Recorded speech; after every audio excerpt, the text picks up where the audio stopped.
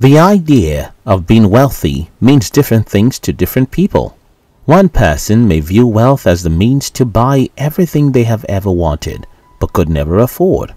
Another person may consider being wealthy as the ability to quit a job they're chained to for an income to support their family. Hence in this video, I will be sharing with you 13 types of wealthy people. 1. The traveling rich person. The traveling rich person has only one goal, and that is to see the world.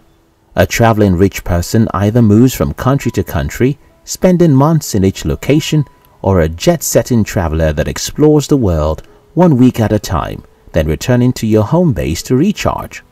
Either way, the traveling rich person finds a way to make their money last so they can continue living the explorer lifestyle they love.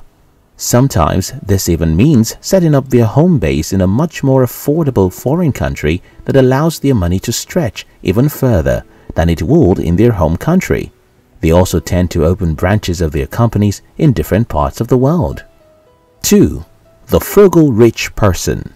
It's easy to assume that the wealthiest people are those riding around in beautiful cars, wearing designer clothes and living in the high life every day of the week. But the truth is that many of the wealthiest people are surprisingly frugal.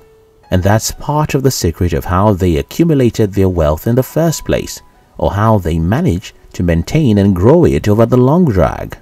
They don't waste money on unnecessary things, neither do they allow themselves to get cheated simply because they are wealthy.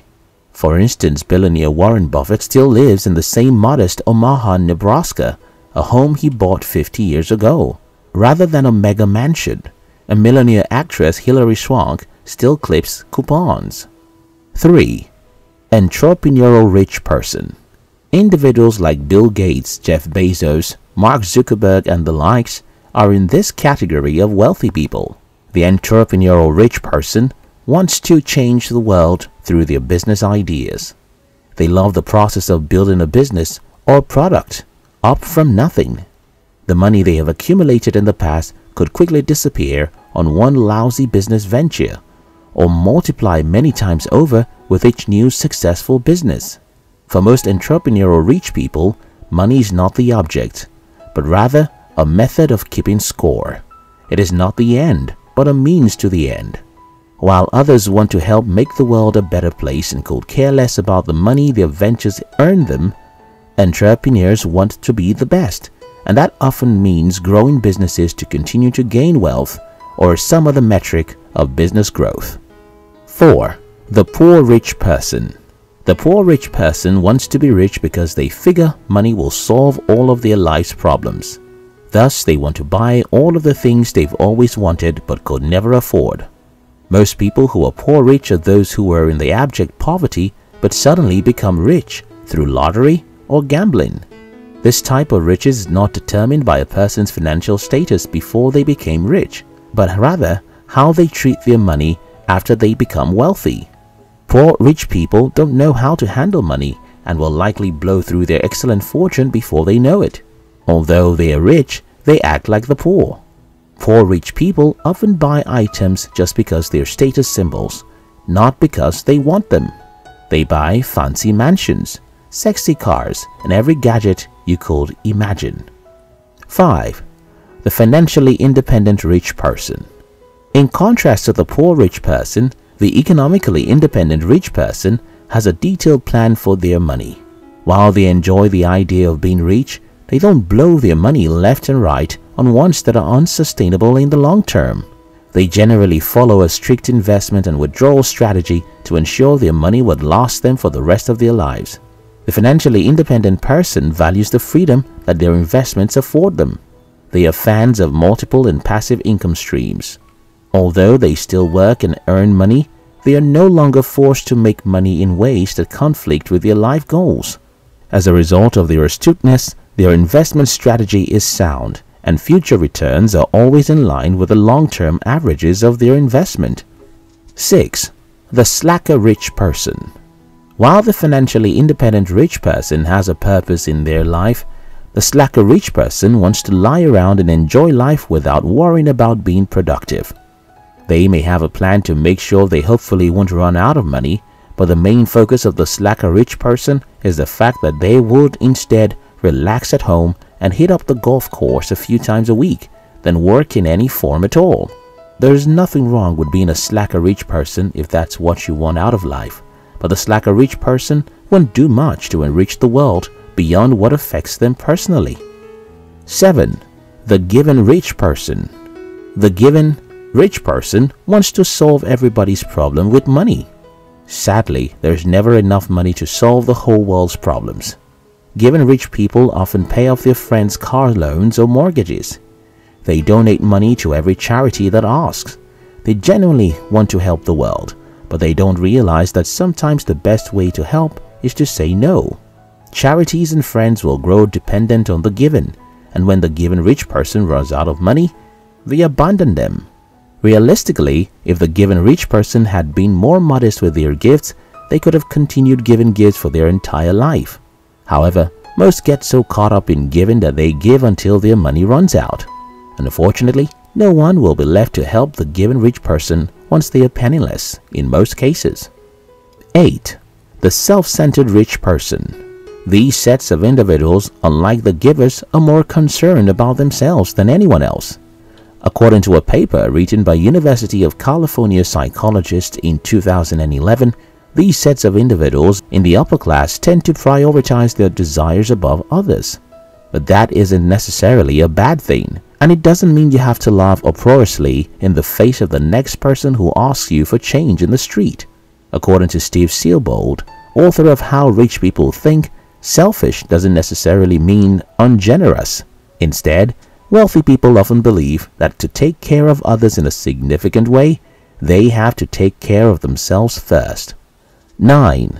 The hoarding rich person. The hoarding rich wants to keep their money and continue to accumulate more.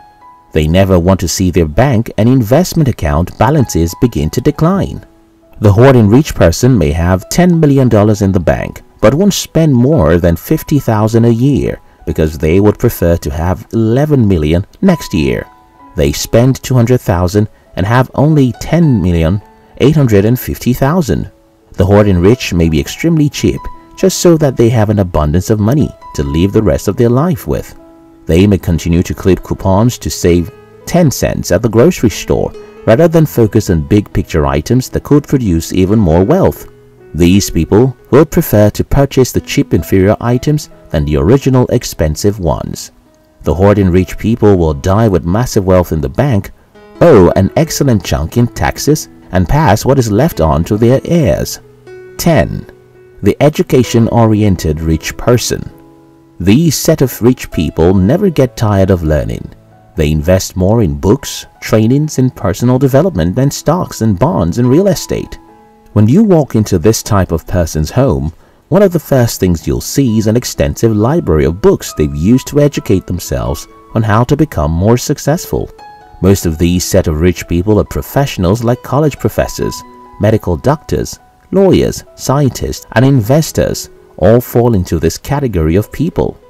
Education-oriented wealthy persons usually are not the kind that die and leave such massive wealth for their children. They believe that education is the best legacy, so instead of give their children properties, they give them the best education. 11. The family inheritance rich person. Have you ever heard the statement, born with a silver spoon? These individuals are the definition of that phrase. They were born into wealthy homes and grew up to inherit wealth.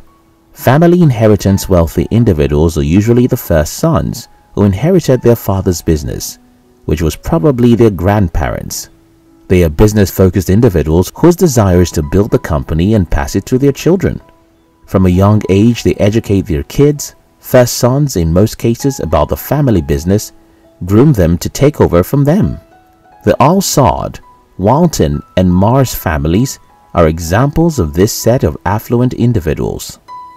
12. The Patient Rich Person the quote, the patient dog eats the fattest bone. These individuals are not in a hurry to make wealth. They believe that hard work pays and that every good thing takes time. The patient rich person is the type that spends the early years of their life working hard for the organization they are in, getting promoted and saving for retirement. They typically stay in a small house until their retirement. Like the education-oriented rich individuals, these people also prioritize giving the best education and connection to their children. After retirement, they get a better home and will settle for real estate. 13. The adventurous rich person. These individuals are heavy risk takers. According to Steve Siebold, author of How Rich People Think, leverage is the watchword of the adventurous rich person. What's leverage? In finance, it can mean using borrowed capital to produce a higher return. But in a broader sense, it means using anything to maximum advantage. In either case, it often means taking risks and busting out of your comfort zone. The adventurous rich person is not courteous at all. They take every opportunity that comes their way, and most times they are lucky enough to win. The kind of rich person you are is most times a product of your core values and past experiences.